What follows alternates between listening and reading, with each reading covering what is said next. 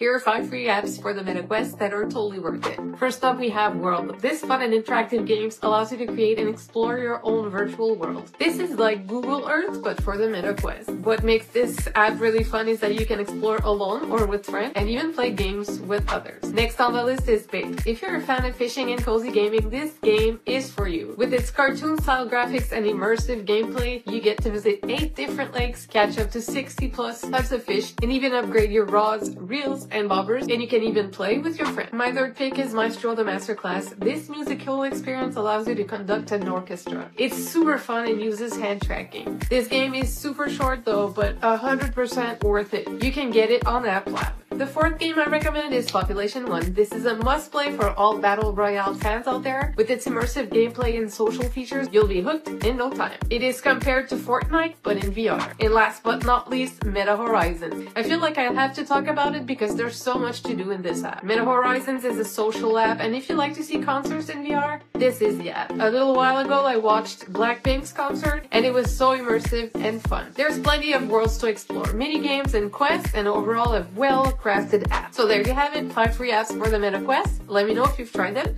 and what were your thoughts.